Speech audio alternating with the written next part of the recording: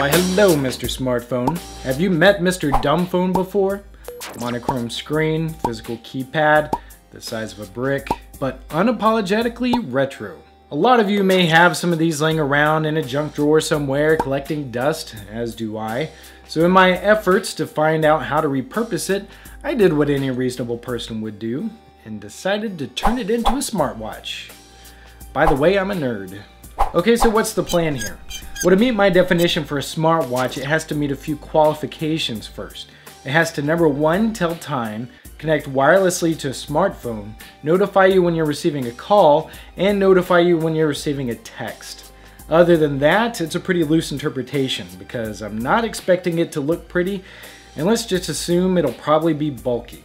But that's not really why I'm making it. Alright, now on to the tougher question. How can I transform this into this? Let's start tinkering. I have here a Nokia 1100 and the good thing about these older phones is that they're easier to take apart and scavenge parts from them. So removing the battery and prying it open, you can see all the different internal components. And the first scavengeable one is obvious, the LCD screen. You can't really tell, but it even has its own backlight. This little protective plastic cover also might come in handy.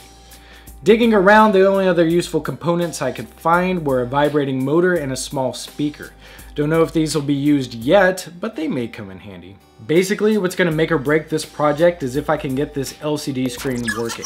I decided to use an Arduino to drive it because the Arduino Uno is large enough for prototyping and the Arduino Mini is the perfect size for a smartwatch. Digging up a schematic online, I found that this specific LCD is a PCF8814. So be sure that you know what type of screen you have before continuing. For mine, I was able to find out what each of these pins represent. And if you have a different screen, yours will probably be different. To connect it to an Arduino, I had to make each of these pins longer. So I soldered a ribbon cable to each one. Alright, to make the size smaller, I then used some sharp shears to cut off the excess plastic around the LCD. No going back now. Now I can connect it to the breadboard, but before jumping it off to the Arduino, I added some resistors to avoid burning it out. You can connect it to the Arduino like you see here. And this would be a good time to point out that if you need more details or help, you can visit the project page at this link. Okay, now let's write some code to test this thing out.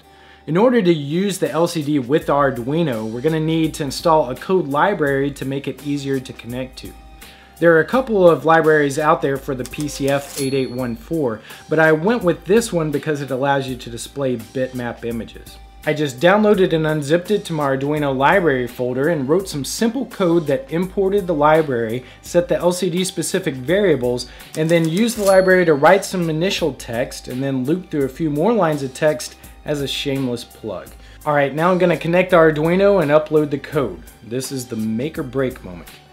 And we have success. I am now one step closer to making my own smartwatch.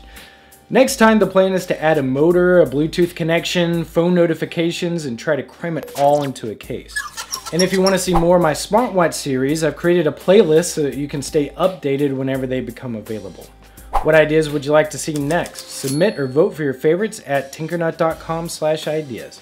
Click here to watch more videos like this, and if you'd like to support my show, please feel free to like, subscribe, comment, or donate at tinkernut.com slash donate. Alright, that's it for this tutorial. For more, go to tinkernut.com.